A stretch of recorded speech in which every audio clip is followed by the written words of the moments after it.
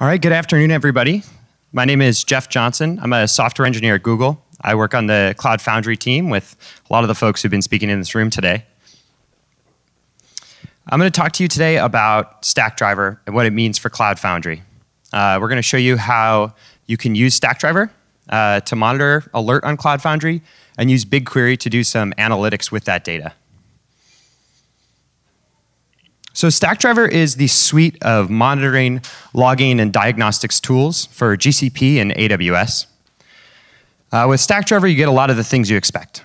You know, you get logs, uh, you get the tools you expect, the, the, the dashboards. We support your favorite, you know, languages, but there's some awesome in there. The awesome are some things I'm going to show you, like doing analysis, like streaming data live into BigQuery, uh, debugging your production app, which has been shown today, so I won't go into that and the fact that it's a Google scale product. It's an API you write to in the cloud. You don't need to worry about scaling up that pipeline, and you don't need to worry about doing summations of data and all that sorts of stuff. It was released into GA, uh, GCP Next 2016, so it's been out there for a bit. But how do we integrate it with Cloud Foundry? Um, I think that's when we say we have a cool piece uh, we want to stick it together with this other cool thing we like. Uh, that's not really the right approach we want to take. Let's think about sort of the motivation behind this. I think there's two personas to think about. You've got a developer. The developer has applications that they need to monitor, they want to be alerted on, and dive into issues quickly. You've got the operator who's got a much broader set of issues, who isn't really concerned necessarily with specific applications, but really concerned about the health of the system. So that operator needs a single pane of glass, and they need alerting as well. But they need to be able to just, at a glance, make sure things are okay. Stackdriver Tools is the BOSH release that we developed in conjunction with Pivotal. Uh, Stackdriver Tools is in the Cloud Foundry community and is available today. Uh, what we provide in Stackdriver Tools is both is first application monitoring. This is taking data, uh, logs, and metrics from Cloud Foundry's Loggregator and ingesting them into Stackdriver. The other piece that gives you is the infrastructure and virtual machine level monitoring. So there's two separate agents that Stackdriver provides. One is to collect logs, which is through uh, FluentD, and the other is to collect metrics, things that the hypervisor can't really find on its own that you need active monitoring for. It was released into general availability in the spring of 2017, and the nozzle portion of it is available today on PivNet as a tile. So let's look at what, a, uh, what, what all these three pieces sort of look like in practice. So this box here, of course, is a virtual machine. And that machine happens to be a Diego cell, runs some applications, that kind of thing. On that machine, we're going to co-locate two jobs. That's the Stackdriver agent, that's metrics, and Google Fluent D, which is logging.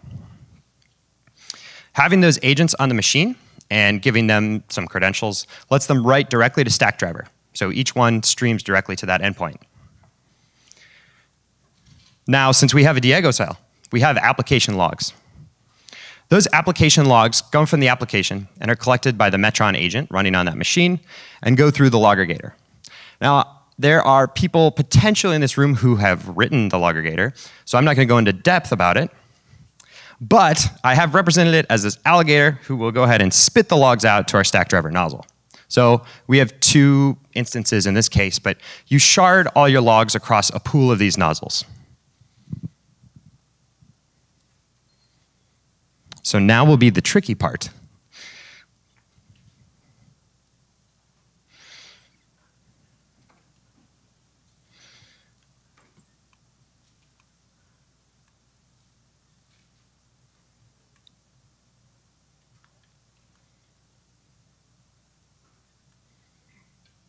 You have to excuse me. I was going to try to do this on my laptop, uh, my normal laptop, but it is a Linux machine, and as soon as I plugged it in, it crashed. So we've made a quick change, and I'm going to figure out how to use this Mac. So I have this uh, Cloud Foundry application on the right, left-hand side. It's not very interesting. It logs out to standard error, standard out. I'm going to pull up Stackdriver logging.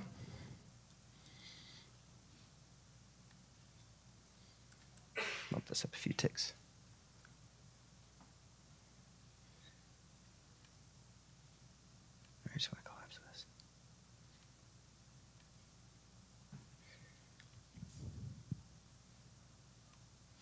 And I'm going to start streaming logs from Stackdriver. So this uh, Cloud Foundry deployment I have right now is uh, three actual, three separate Cloud Foundries in a single GCP project that's sort of around the world. Um, and I'll talk a little bit more about that in my next Spanner talk.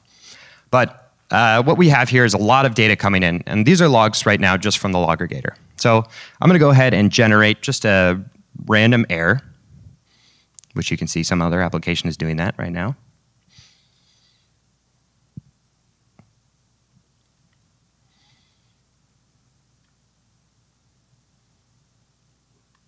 Okay, there's our error. Stackdriver does structured logging. So what structured logging means is we're not just talking about lines in a log file. We have additional context about the log. So if we expand these labels, we can see all the context about the application that this log came from. So this came from my logger app. Uh, we've got application ID, all the stuff you'd expect. And it also has a JSON payload. Now, the log message doesn't have much more in the payload. But uh, every Cloud Foundry metric, everything that comes through the log aggregator, we retain all the fields so you can do uh, structured queries. So I'm going to do a really simple structured query and just look at the events for my application.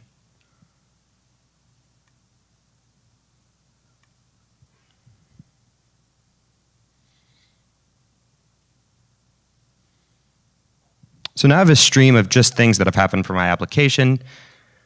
We can see here it was deployed earlier. And we can stream just the same way we did with, with the data before. So this is awesome for sort of at a glance looking at digging into issues and looking at things that are happening now. Stackdriver does a 30-day retention. Uh, so if you have, if you're writing to Stackdriver, uh, in 30 days, your data starts to fall off. You can choose to export that data. And you export that data by creating a query, just like I did here. That query could just be everything. You create that query and export it to a source. Sink, sink. I've chosen BigQuery, so I'm going to look at BigQuery in my GCP project.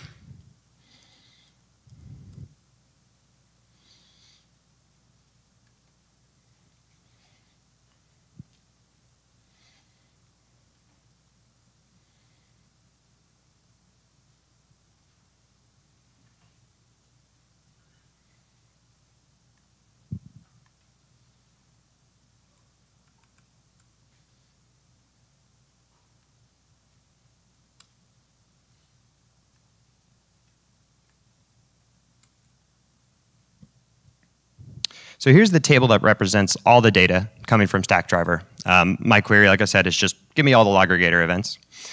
Um, just to show how quickly this streams, let's go ahead and create a query to do uh, a new search for a log message and see, hopefully, that it appears right as we create it. So let me just set this mic down for a sec. Can't do SQL and hold, hold one of these.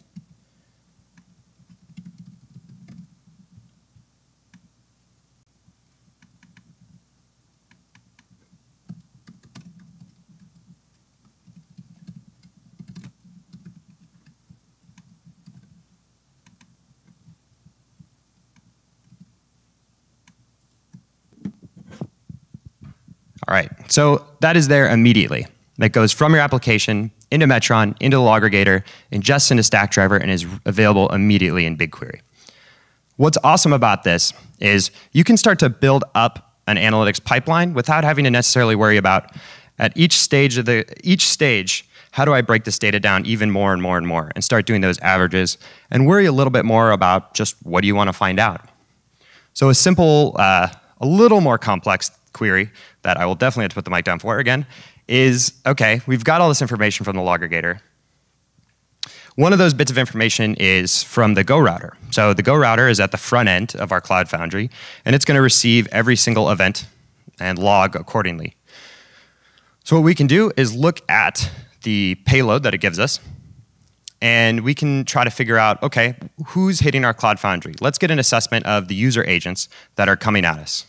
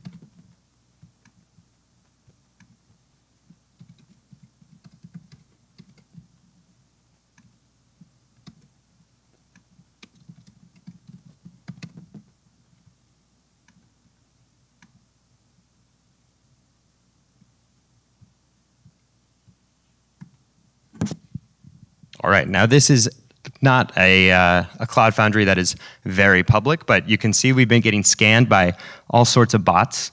Here's our Stackdriver monitoring thing. Here's an RCE. Uh, we can see how frequently they are, and it was pretty straightforward to build that query. It's just simple SQL. But what's incredible about it is that it is real time. So we did that query, it took 1.7 seconds, not, not too long. Uh, and we are able to, we can refresh that and just get constantly up-to-date data.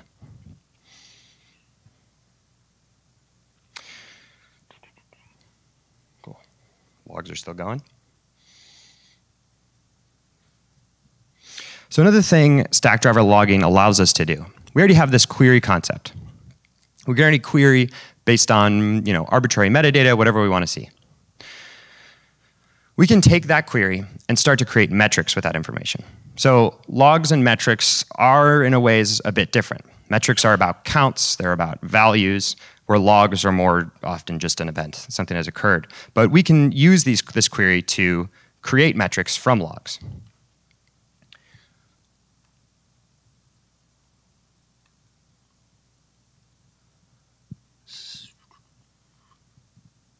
So let's change this query. Instead of all the logs for my app, let's look at all the errors for my app.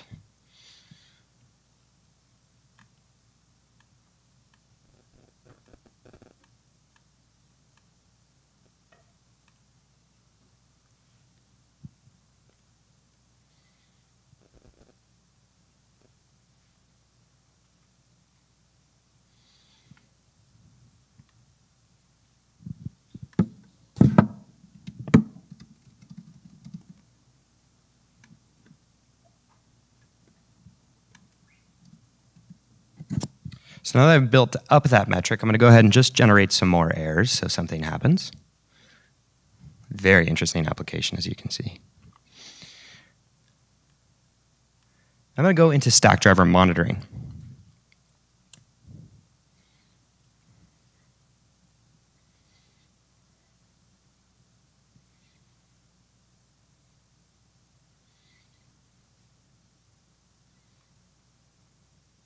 So Stackdriver monitoring is the home of metrics.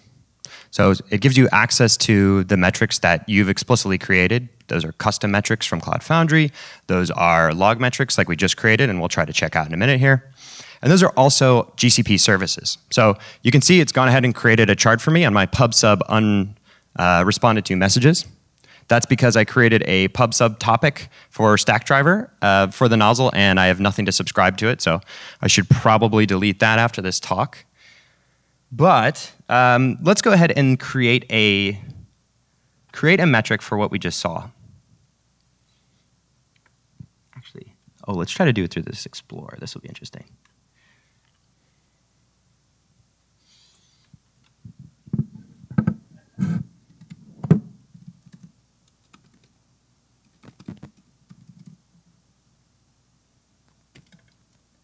maybe too interesting.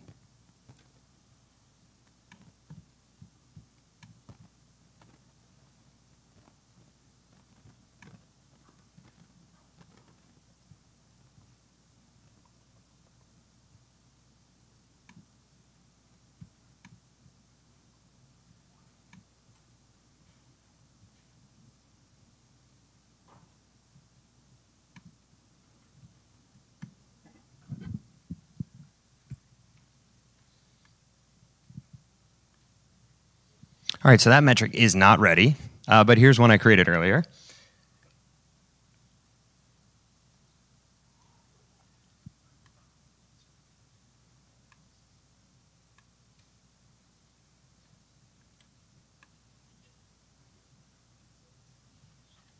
All right. So that's demo. No. Um, Stackdriver uh, metrics, we've got all of our loggregator information coming in. So we are taking those container metrics, we're taking counter metrics, all these things coming out of various pieces of Cloud Foundry, and we're ingesting that. That means we can start to build out dashboards. So here's a dashboard I built for my Cloud Foundry. We've got the uh, CPU percentage per our Diego cell. Um, we've got a lot of Diego cells.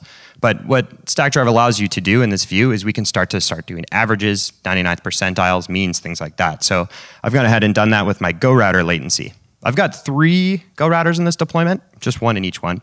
Um, so I really just am worried about, well, what's the 95th percentile on that? Um, and there's all sorts of ways to look at this, but it's pretty easy to slice and dice.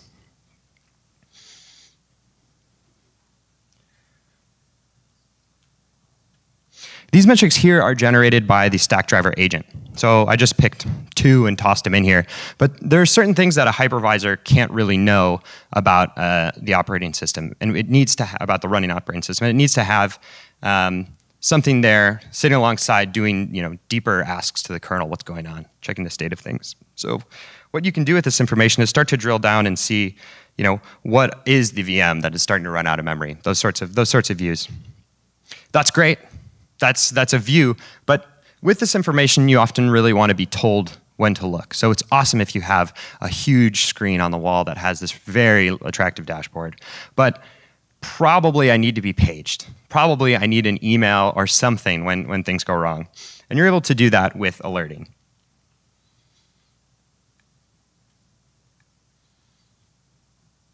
So here's a policy I created.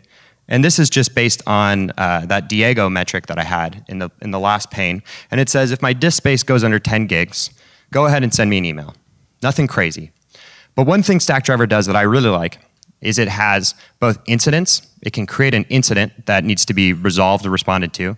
And it can also send a little help message alongside. So if you have sort of a culture of, we're not just going to create alerts, those alerts are actionable alerts that say, this is a problem, here's some ways to get started. Maybe not here's a solution. This one has provided a great solution, if you can see that, which is to download a few more hard drives. That is possible in a lot of ways in the cloud, but maybe not the most useful advice. The last thing I want to show you here is uh, the uptime checks feature.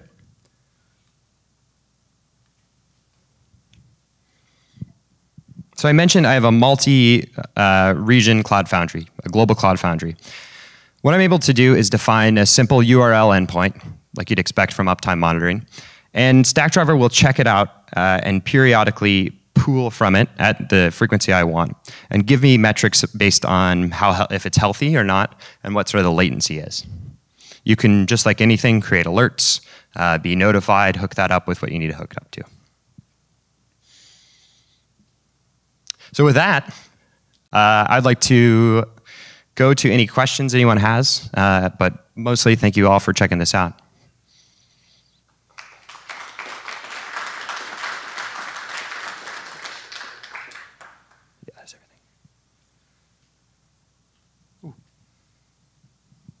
So feel free to stand up if you have any questions or just hang around. I'm going to be in here for the next talk.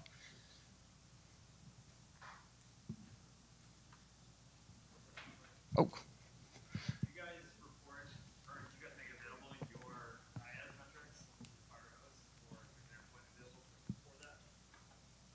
IaaS metrics like metrics from like load balancers?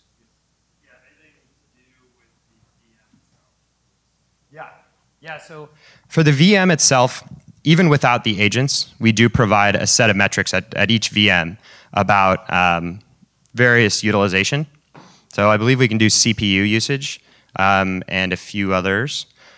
But we also provide metrics for a lot of our services. So our load balancing services um, have some metrics, and our um, things like Spanner, you could build a dashboard for those services. So this is definitely the place where if you have a GCP project, we'd expect to do our IaaS reporting in here.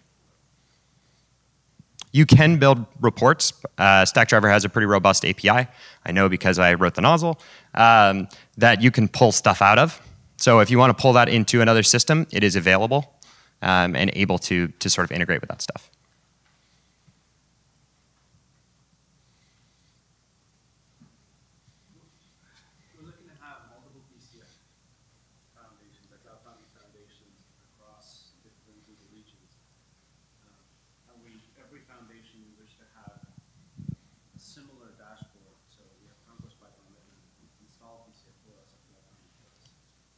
there a way to, once we prefer a dashboard for the first sure that that exact same, the same metrics that you had, for example, show up when we deploy that family again in the different regions? So that is an excellent question. So the question around um, essentially, is there a way to stamp out dashboards? Let's say I have one. I even have an application that uh, we have a set application dashboard, and we want to launch that with every uh, PCF app that we push. Um, but the overall health is, is just the same, same sort of need. Uh, I tell you, uh, I hear it. I hear that ask. Uh, that's all I can say about it right now. But uh, today, there is that is not capable. The other question that we, the other issue that we have is Stackdriver has a concept of accounts. So when you create a project, you associate it with a Stackdriver account. And uh, we want every app owner to have access to view their own project, logs from their own project, and so on and so forth. But at the same time, we need this grand SRE view of dashboard, for example, the operators. Is there an easy way to achieve that? That is an excellent question. Um, the first, the easiest way to do that today would be to say to have a centralized account and then do reporting out from that. But that doesn't get you Stackdriver monitoring. That gives you Stackdriver logging. It's easy to create those queries and say, okay, for this logging application, I'm going to dump this into a specific bucket or a specific BigQuery that I give these folks permissions to, having that centralized spot. I don't know how to do that with monitoring, but I'd be happy to follow up about that. Right now, we're using Dataflow on top of BigQuery bucket. That- That's a custom homegrown solution as opposed to just straight out of stack. Yeah, as opposed to having the, the monitoring console. Are you doing that for logs? Okay, cool.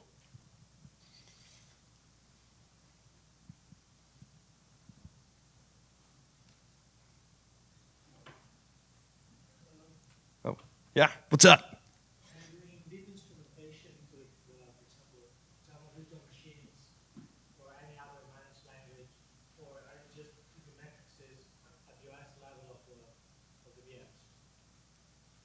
So um, under the hood uh, for the, the host monitor agent, we're using collectd. So collectd does allow you to uh, include some plugins for a lot of pop- popular open source projects, things like Nginx. Um, if you are hosting something like that, you can expand that configuration. What we're doing with this is the base set, and we are also doing what Cloud Foundry is logging. So we aren't really doing instrumentation beyond that. So no Java bytecode manipulation like APM tools. That's right. I don't know enough about Stackdriver Trace to tell you what if that's what that is, but I don't believe we have a, a full APM product.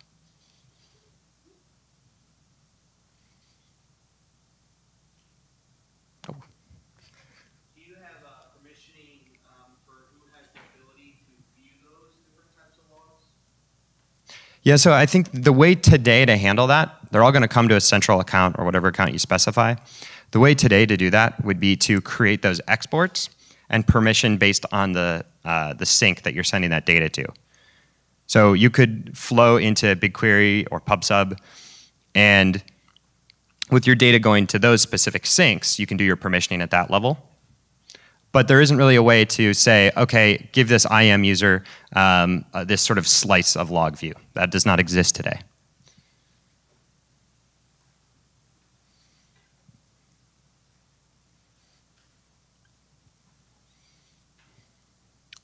Well, if anybody has any other questions, I'm going to be hanging around. I'll be here all week, so thank you all for joining me. Question? Thank you.